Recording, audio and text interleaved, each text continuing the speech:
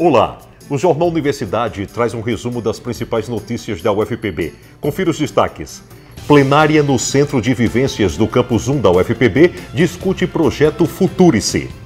Aplicativo desenvolvido em parceria com a UFPB auxilia consumidores na comparação de preços de produtos.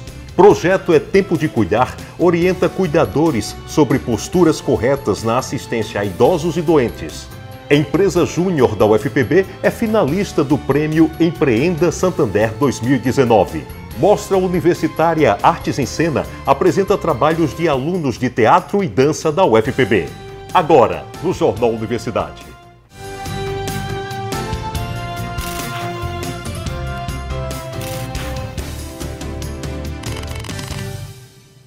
A reitora da UFPB, Margarete Diniz, reuniu professores, técnicos administrativos, estudantes e representantes de entidades para discutir o Futurice, programa do governo federal que cria mecanismos para a captação de recursos privados por universidades e institutos federais.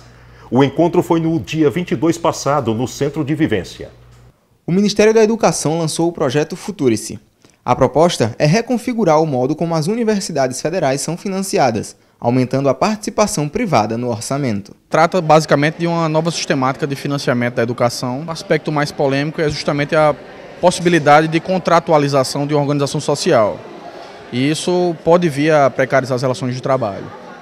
Entretanto, nós não temos certeza exatamente como vai se dar essa sistemática, tendo em vista justamente a, o pouco esclarecimento acerca do marco legal que vem a ser proposto, alterado via projeto de lei.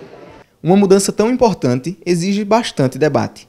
Por esse motivo, a UFPB realizou uma assembleia para apresentar a toda a comunidade acadêmica a proposta do MEC.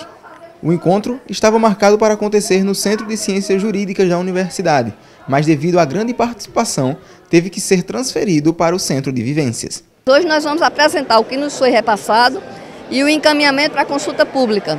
Na sequência, nós vamos fazer, chamar o fórum universitário penso que pelo quantitativo de pessoas e o espaço insuficiente, que talvez a gente possa em cada centro fazer essa discussão que a gente vai traz aqui hoje, fazer o fórum universitário e nos campos 2, 3 e 4 também fazer a discussão e levar isso, esse trabalho e essa discussão para o conceito para o Consune. É o Consune que vai definir. Eu espero que já na próxima reunião do Consune nós já tenhamos uma nota da gestão e da, do Conselho Universitário da UFPB. As mudanças que o futuro se sugere são muitas. Ainda não se sabe como as medidas podem impactar no funcionamento pleno das universidades. As universidades têm um prazo para se pronunciar a respeito e a UFPB está iniciando esse processo agora com a Assembleia Universitária. Bom, a proposta envolve dois eixos principais. O primeiro é a questão do financiamento. Hoje, o ensino, a pesquisa e a extensão é financiado com recursos públicos, né, que vem do MEC, e daí nós usamos esse recurso para manter a universidade funcionando né, e financiar pesquisa e inovação tecnológica. Com essa proposta, parte das atividades da universidade, em especial a de pesquisa e inovação tecnológica seriam privados, né? então seriam geridos por recursos, uma indústria que tivesse interesse é, em financiar um determinado tipo de pesquisa. Sindicatos também participaram do debate, trazendo as demandas dos servidores da UFPB para a discussão. A análise que nós fizemos preliminar é de que ela é um ataque frontal à autonomia universitária, que é um princípio que está lá garantido na Constituição de 1988. Ela não nos oferece, eh, esse projeto não nos oferece nenhuma resposta tangível, nenhuma resposta concreta que traga, que beneficie o desenvolvimento econômico, social, político e cultural, que é função das universidades. A Assembleia Legislativa da Paraíba esteve representada na figura da deputada estadual e professora da UFPB, Cida Ramos, que comentou a proposta do governo. O governo, ele é, tergiversa e ele bota um programa que retira a autonomia da universidade, dilapida o patrimônio da universidade, tira, cria um conselho que desmoraliza os reitores, então é algo inaceitável e inegociável. Um encontro realizado ao longo desta semana no Campus 1 da UFPB debateu a epistemologia ambiental nos contextos tecnológico, social e profissional. O 17º Encontro Nacional de Estudantes de Engenharia Ambiental foi realizado junto ao 5 Fórum Latino-Americano de Engenharia e Sustentabilidade. A ideia foi fazer um encontro acadêmico, científico e cultural de intercâmbio entre os estudantes do Brasil e de outros países. Essa importância da, do congresso trazer para os alunos essa vivência prática do que são as pessoas experientes nessa área é essencial para o aluno que está começando, que está entrando na carreira profissional de engenharia ambiental. E você reúne né, os alunos de todo o Brasil, então tem esse network, a gente tem um contato com pessoas de outros estados. No encontro, a programação foi voltada aos problemas ambientais nos contextos tecnológico, social e profissional. O professor da UFPB, Tarcísio Cordeiro, esteve presente no primeiro dia do evento. Ele, que tem pesquisas na área de oceanografia biológica, realizou uma palestra sobre a poluição oceânica. Uma das principais causas é a nossa sociedade de consumo, onde tem muita embalagem, muito material descartável, muitos produtos químicos cuja o, o, o, efeito dele na natureza ainda não são bem conhecidos. Enfim, é, e também um crescimento da, da urbanidade né, no mundo, mundo afora, todos esses fatores vêm contribuindo para uma poluição dos oceanos. Existe inclusive a possibilidade, no, até o, o, final desse século, de termos uh, menos algas nos oceanos produzindo oxigênio. Então está eh, na hora de parar e pensar o que a gente está fazendo, mudar talvez o rumo. A aluna da UFRN, Tayane Alencar, contou que lá o estudo é voltado para a água doce e o que aprendeu com o professor Tarcísio veio para agregar conhecimento. É importante compreender que todos os impactos negativos causados pelo homem influenciam diretamente no, no, mar, não é só no solo, alguma coisa que a gente faz, por exemplo, no solo. Como, por exemplo, foi tratado aqui, o uso de fertilizantes, o uso de agrotóxicos, eles influenciam diretamente no que vai ser levado carreado para o mar. Então, se eu uso agrotóxicos para uma plantação, é, eles vão ser carreados para água doce e em algum momento podem alcançar a água marinha. E daí a importância de estudar tudo isso, porque desse fertilizante pode causar o processo de bioacumulação e, consequentemente, chegar até o homem. Então, o peixe vai, de alguma forma, absorver aquele fertilizante que vai chegar até nós e nós vamos ser contaminados por aquilo ali. A programação contou também com mini cursos, workshops, mesas redondas e visitas técnicas a locais como a Estação de Tratamento de Água de Gramame. Eu já tinha participado do evento lá em Palmas, mas esse daqui eu vi, percebi que ele foi um evento bem organizado. Participei dos mini cursos, das palestras, é, é, conseguimos é, tipo visitar vários blocos aqui da universidade, é, gostei bastante. Nos últimos dias 24 e 25, o Centro de Ciências Humanas, Letras e Artes da UFPB promoveu o segundo seminário de extensão do CCHLA. O segundo seminário de extensão buscou apresentar as atividades realizadas pelo centro na comunidade externa. Além disso, houve a realização de palestras e apresentações culturais. A abertura ficou por conta da performance Palavras Negras Importam, realizada por estas duas ativistas.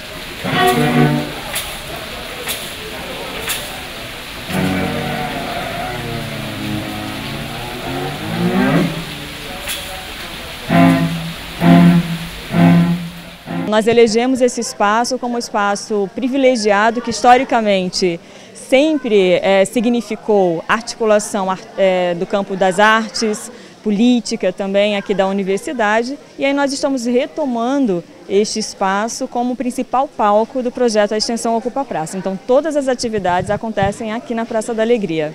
Atividades de extensão são importantes ferramentas de conexão da universidade com o público externo numa via de mão dupla, na qual ensina e aprende.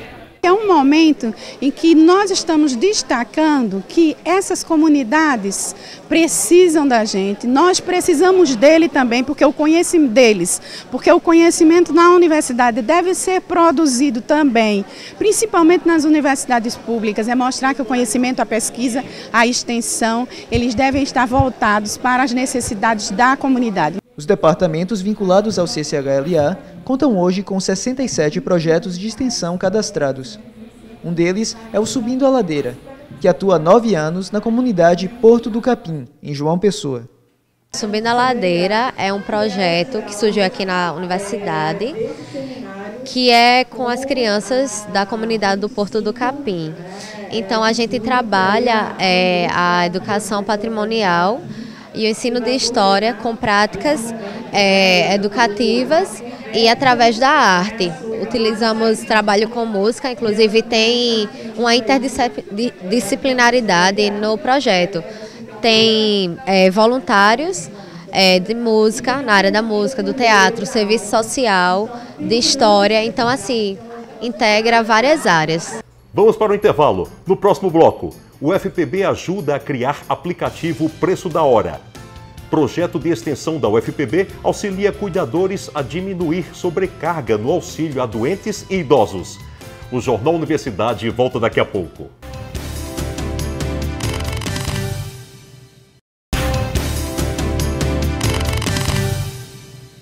Imagina poder comparar preços de milhares de produtos rapidinho e sem precisar sair de casa.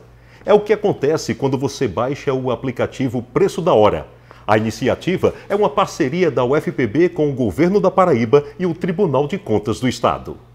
A universidade pode trazer grandes contribuições para a sociedade. Foi o que aconteceu quando a UFPB, junto com o governo da Paraíba e o Tribunal de Contas do Estado, desenvolveu o aplicativo Preço da Hora, que também tem site na internet. A UFPB, junto com professores, alunos de graduação, de pós-graduação, entraram com a expertise né, na área de desenvolvimento de dados, análise de dados e também na parte de desenvolvimento de algumas ferramentas que foram utilizadas no aplicativo Preço da Hora. Então a UFPB ela teve um papel fundamental nesse processo. Com mais de 100 mil usuários só nos primeiros 15 dias, a ferramenta tem ajudado os paraibanos na hora de economizar. O sistema permite comparar os preços de vários produtos, incluindo combustível, e classificá-los por ranking, além de mostrar a distribuição deles no mapa. O indivíduo de qualquer cidade do estado, ele tem acesso a essas informações praticamente em tempo real. O nosso sistema ele é atualizado a cada cinco minutos. Outra facilidade é poder escanear o código de barras dos produtos. E não são só os consumidores que saem ganhando com a nova tecnologia. O poder público, em breve, também vai poder utilizar os dados coletados para conseguir menores preços em licitações. Quando as pessoas sabem que é para o setor público, duas coisas podem acontecer. Ou eles podem se negar a dar os preços, ou não podem dar os preços quando dão, dão os preços acima do valor do mercado. Com essa plataforma que a gente vai desenvolver, nós temos os preços que efetivamente são praticados no mercado e esses preços é que vão basilar as contas públicas. E daí fica muito mais difícil nos superpreços que são praticados nos procedimentos licitatórios. Com isso, o setor público tem a capacidade e agora vai ter as ferramentas adequadas para fazer uma aquisição de, de produtos num preço que seja aquele praticado no mercado sem prejuízo ao erário. A aplicação também pode favorecer comerciantes que praticam bons preços. Ah, com certeza, porque ah, com esse, esse aplicativo, aquelas pessoas que praticavam os bons preços, preços mais baratos, ficavam às margens da, de uma empresa que tem um poder de marketing muito alto. E hoje, você, qualquer cidadão hoje tem acesso ao menor preço. Então, todos aqueles que têm os preços a, acessíveis e os preços baixos, aqueles vão para o topo da nossa lista e essas pessoas, naturalmente, têm seu marketing divulgado a partir de um, de um mobile. E com isso, ganha tanto o pequeno como o grande, que se disponibiliza a vender por um preço menor, como a, a sociedade que vai em busca de preços mais baratos de uma forma bem mais tranquila. Mas se as pessoas já conhecem o preço da hora, este vendedor ficou empolgado com a boa nova. Eu vou começar a pesquisar e vamos correr atrás de, de, de economizar. Essa é a verdade, economizar. Esta dona de quiosque, que faz compras todo dia, já usa o aplicativo há quase um mês. E até agora só tem elogios. É a praticidade. Né?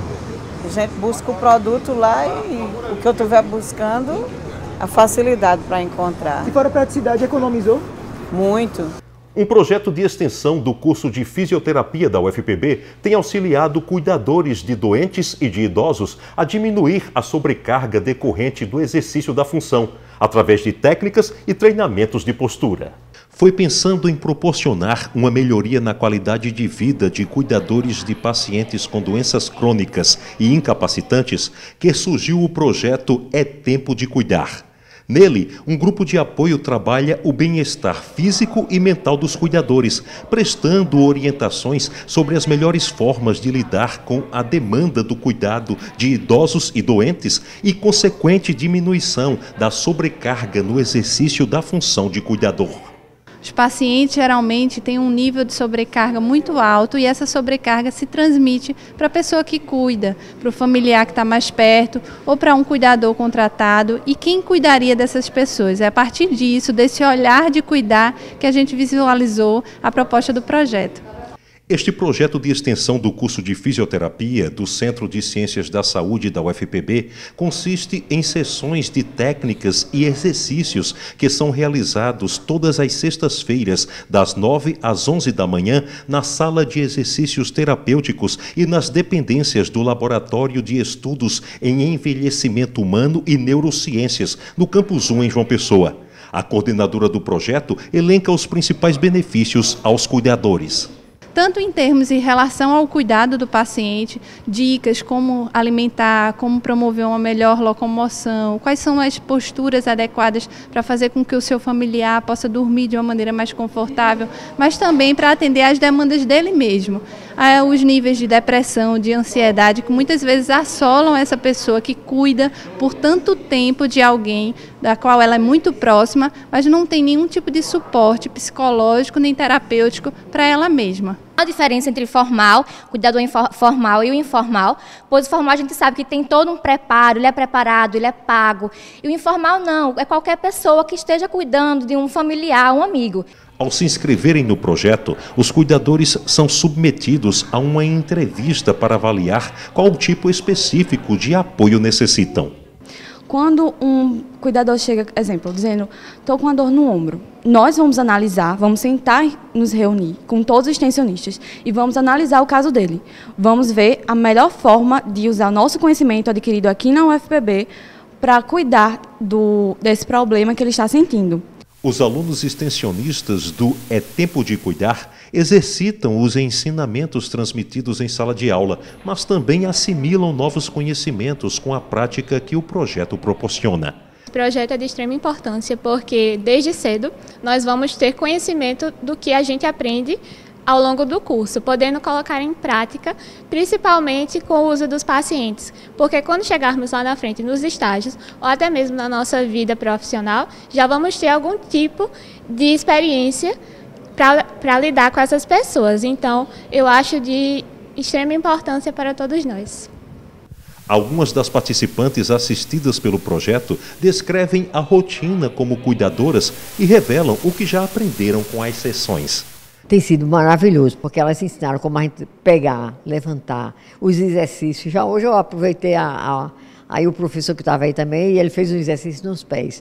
Então é muito importante, principalmente para nós cuidadores, né? Meu esposo que tem um problema e eu cuido juntamente com minhas filhas no dia a dia, com muito amor também, com muito carinho, porque é o que a gente mais deve demonstrar para ele.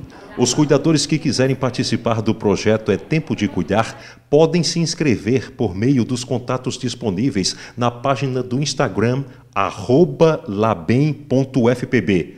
As inscrições e as sessões são gratuitas. Vamos para o intervalo. No próximo bloco, Empresa Júnior, formada por alunos da UFPB, está entre os finalistas do prêmio Empreenda Santander 2019. O Jornal Universidade volta já.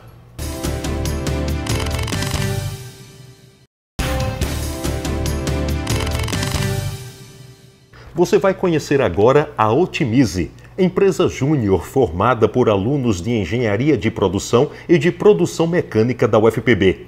Eles estão entre os 10 finalistas do Prêmio Empreenda Santander 2019, na categoria Universidade e Microempreendedor. Criada em 2007, a Otimize Empresa Júnior de Engenharia de Produção e de Produção Mecânica chega este ano ao seu ápice, Vencendo outros 5 mil concorrentes, a iniciativa está agora entre os 10 finalistas do Prêmio Empreenda Santander 2019. O intuito do projeto é a gente fazer com que as empresas que estão no projeto saiam da linha de microcrédito do Santander para uma linha de crédito maior, ou seja, a gente tem que fazer com que a empresa é, cresça e aumente de tamanho de produção. No projeto finalista, Os alunos desenvolveram planejamento estratégico e financeiro para cinco microempresas financiadas pelo Santander, localizadas a um raio de 150 quilômetros de João Pessoa. A experiência tem sido muito positiva. A gente participou por um treinamento em Fortaleza, onde a gente aprendeu uma metodologia de uma, da Aliança Empreendedora, que é uma empresa conveniada com o projeto do Santander. E a gente agora tem que replicar esse treinamento para é, essas empresas, para outras algumas empresas que foram escolhidas por nós para poder participar desse treinamento. E a gente aprendeu muita coisa lá na parte de gestão, de gestão financeira, e a gente consegue casar muito bem com o nosso curso. É, e além do que a gente aprendeu lá, ainda mais aprimorar esse treinamento para poder passar para essas empresas é, essa metodologia. Empresas juniores podem ser excelentes oportunidades para os alunos aplicarem na prática o que aprenderam em sala de aula é começar a trabalhar o engajamento, é trabalhar o papel deles no mercado de trabalho, é trabalhar a postura profissional. Tudo isso é importante para que esses alunos saiam da universidade e atendam os clientes com a maior é, dignidade, que isso tenha qualidade, que isso mostre consistência e que as pessoas acreditem na Otimize Consultoria. Nosso portfólio é bem amplo, porque como nosso curso de engenharia de produção abrange várias áreas, a gente oferece diversos, diversos serviços em gestão, tanto na parte de custos, gestão financeira, planejamento estratégico, para as micro e pequenas empresas.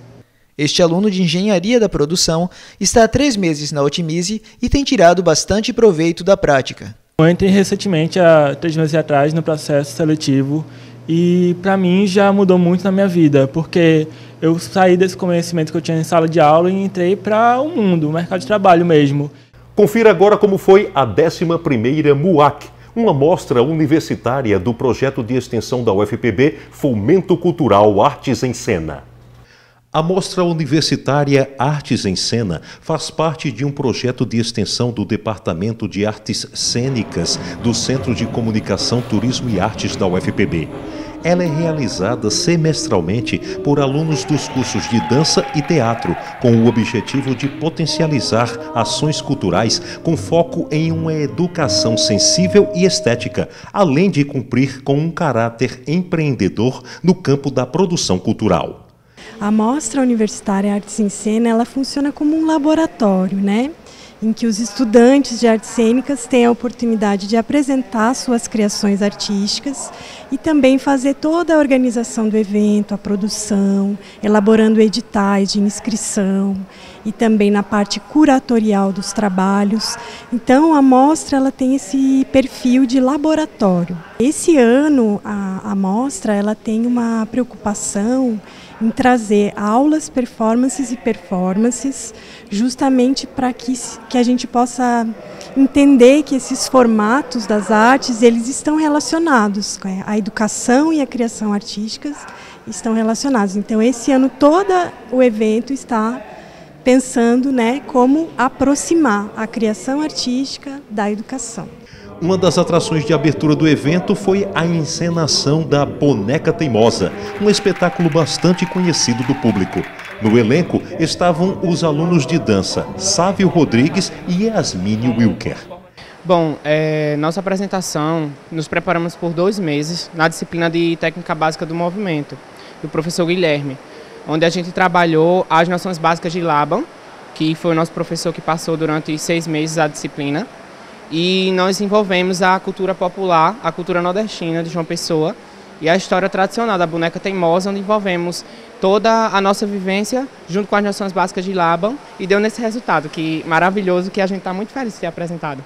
É preciso muito preparo físico e bastante flexibilidade para interpretar uma personagem tão desconjuntada. Eu faço balé clássico desde pequena e também fiz ginástica rítmica por um tempo e participo também do projeto de extensão de ginástica artística daqui da UFPB. E também, através das disciplinas, do curso, eu venho trabalhando essa flexibilidade para que não seja algo prejudicial ao meu corpo, para que eu saiba trabalhar de uma forma que não venha sobrecarregar meu corpo e eu possa usar os movimentos certos para isso. Além de apresentações artísticas, compõem a mostra oficinas e rodas de conversa sobre processo de criação.